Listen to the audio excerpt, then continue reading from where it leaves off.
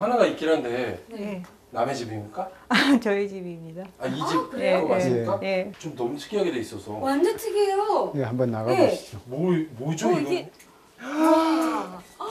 어머 이거 야 이건 뭐예요? 야 이게 정원이 나왔잖아요 지금.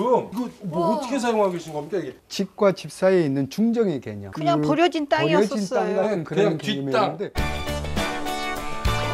집엔 창고로 활용하는 독립된 건물이 있었는데요. 창고와 집 사이, 방치돼 있었던 땅 위로 방킬라이 데크를 깔아 두 건물을 연결한 겁니다. 주거 공간의 2층 주방과 예전 창고가 이어져 동선이 편리해졌죠.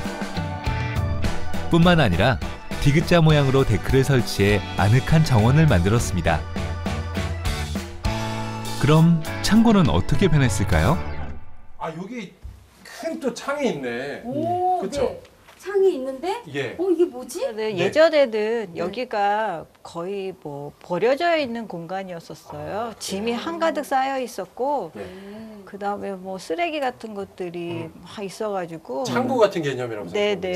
창고였네요. 예, 그거를 좀 고쳐가지고 음. 저희 가족하고 작업실로 쓸 예정이에요. 아 그래요? 아 그래요? 네. 뭐 여러분들은 쓸 것 같은데 완성된 건 아니고요. 음. 지금 막 마무리가 아직 다 안 된 상태라서 음. 지금 미완성된 상태예요. 아 그래요? 네. 오 한번 미완성.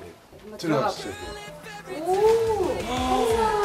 우와 여긴 또 야. 무슨 공간이라고 해야 되지? 굉장히 특이한데요? 천장을 보면 공연장 천장이고요. 아 그쵸. 네. 그리고 또 이쪽 벽을 보면 예. 찜질방 벽이에요. 이쪽 일이죠? 네, 네. 이집 뒤쪽이 네. 인왕산 자락이거든요. 네네네. 그래서 굉장히 이 벽들을 음. 깨끗하지 않고 그냥 자연스러운 그런 내추럴한 분위기를 내려고 오. 이렇게 거친 느낌들의 저기 마감을 하셨다고 그러시더라고요. 예.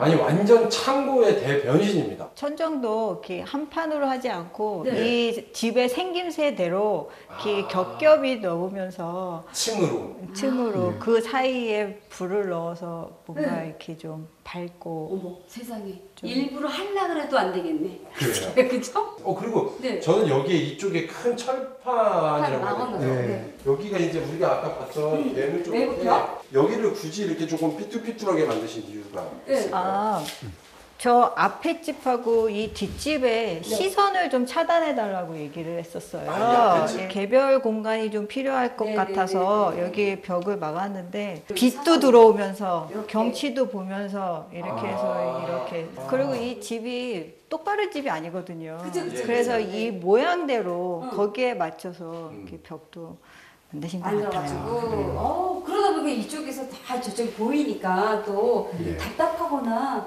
이런 느낌도 전혀 없네요. 예, 맞습니다. 네. 아니 그럼